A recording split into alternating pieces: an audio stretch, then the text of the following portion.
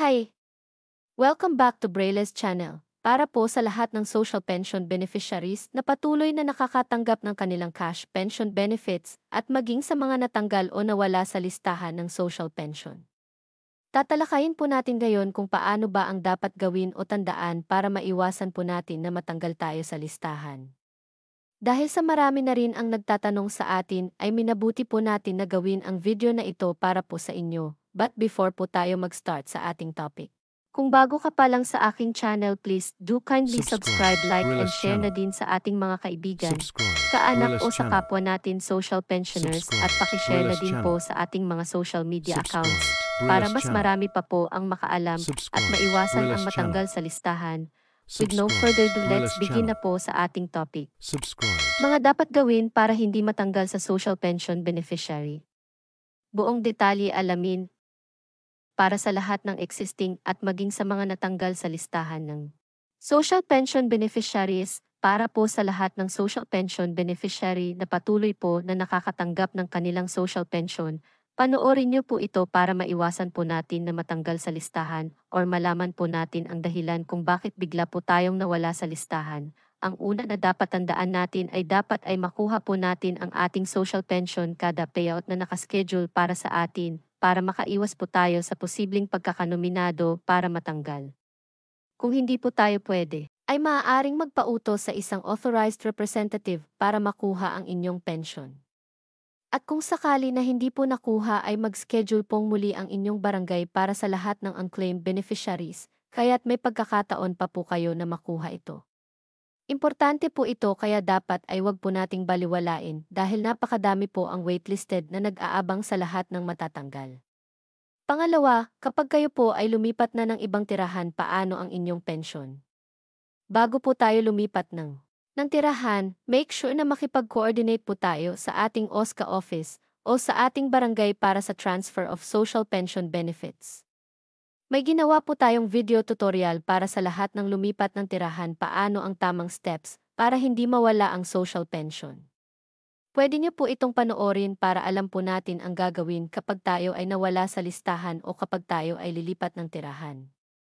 Pangatlo ay kapag ang isang social pension beneficiary ay namatay na.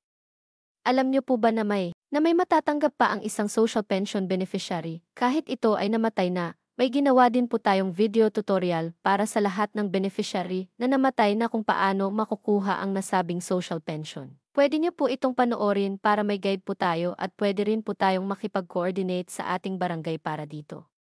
Pang-apat, dito ay marami ang nagtatanong kasi hindi nila alam na pwede pala silang matanggal sa beneficiaries kung sila ay magiging isang lupon ng barangay o Maging isang barangay official o either nagkaroon ng trabaho ang isang beneficiary o maaari din na may sumusuporta ng mga anak o kapamilya para sa mga magkakaroon ng posisyon sa barangay bago nyo po ito tanggapin. Alamin nyo po muna kung saan po kayo mas malaki ang matatanggap.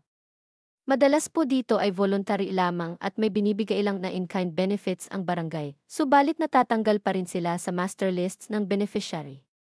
Kaya't bago po natin ito tanggapin ay alamin po muna natin na hindi po tayo matatanggal sa listahan dahil ito ay isang voluntaryo lamang na pagtulong sa inyong komunidad. Dahil once kayo po ay nagkaroon na ng source of income ay magiging dahilan po ito para kayo ay matanggal sa social pension beneficiary. I am not sure kung bakit nga marami ang tinatanggal sa listahan kahit ito ay voluntaryo lamang na pagtulong. Kapag mangyari po ito ay makipag-coordinate po agad kayo sa inyong OSCA o barangay para sa kaukulang aksyon. Panglima natin ay kung may SSS o GSIS ang inyong asawa o mayroong anak na tumutulong sa inyo. Alam niyo po ba na kahit kayo po ay walang SSS o GSIS pension, subalit meron ang inyong asawa, maaaring ito ay maging grounds din para kayo ay matanggal bilang social pension beneficiary. Dahil katunayan lamang na may financial support na natatanggap mula sa iyong pamilya, kahit ito ay maliit lamang ay i-consider po ito ng DSWD na isang grounds for delisting. Once ito po ay nangyari, maaari niyo po itong patunayan during the validation process na ito ay hindi nagiging sapat dahil sa maintenance at iba pa. Ito po ay walang kasiguruhan na kayo po ay mananatili sa master list dahil sa dami ng mga deserving na indigent pensioner na dapat makapasok. Pang-anim, kung sakali po tayo ay aalis lamang ng ating bahay or may pupuntahan lamang, dapat ay magbibilin po tayo sa ating mga kaanak o kapitbahay na kayo po ay aalis lang muna para in case na may dumating na taga DSWD. Para mag-validate sa inyo ay alam po nila na kayo ay still nakatira pa rin sa lugar na nakalagay sa kanilang master list. Dahil kapag walang magsasabi sa DSWD na kayo ay sandali lamang na umalis ay ilalagay po nila sa record na kayo ay isang unlocated na pwedeng maging nominado para matanggal sa listahan. At iba pang case-to-case basis na maaaring maging dahilan din ng inyong pagkakatanggal. Kaya tandaan po natin na lagi po tayong makikipag-coordinate sa ating barangay o sa ating. Sa ating OSCA office kung magkaroon ng ibang kadahilanan. That's it. Naway makatulong po ito para maiwasan po natin na matanggal po tayo sa social pension beneficiary.